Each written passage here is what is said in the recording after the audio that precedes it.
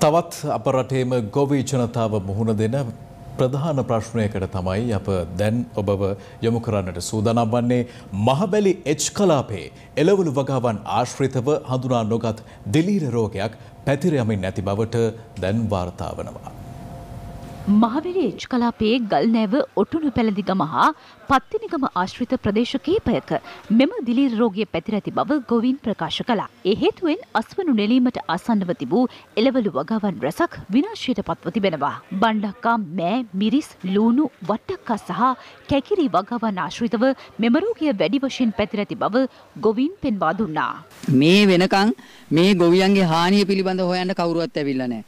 අඩු ගානේ මෙන්න මේ මේ ගොවියන්ගේ හානි පිළිබඳ හොයලා එහෙම නැත්නම් ඒ වගාවට වෙලා තියෙන විනාශය වෙලා නම් මේක හඳුනා ගන්න බැරි ලඩක් නම් ඒව සම්පූර්ණයෙන්ම විනාශ කරලා දාලා මතු ගොවි පරපුර බේර ගැනීමේ අවශ්‍යතාවය තියෙනවා. හැබැයි එහෙම වැඩ පිළිවෙලක්වත් කුෂිකර්ම දෙපාර්තමේන්තුවේ මේ විදිහින් ක්‍රියාත්මක වෙන්නේ නැහැ. මේක හරිම කනගාටුදායක තත්ත්වයක්. මම වියදම් කරලා තියෙනවා මේ වෙනකොට රුපියල් 75000ක් වියදම් කරලා තියෙනවා. ඒ 75000 වියදම් කරලා තියෙන්නේ ණය වෙලා බැංකු ණය අරන් තමයි වියදම් කරලා තියෙන්නේ. මේ වෙනකොට තත පහක්වත් අපේ රුපියලක්වත් ගන්න බැරි නම් සම්පූර්ණ කොටුව විනාශ වෙලා තියෙන අක්කර එකමාරක් වෙනවා.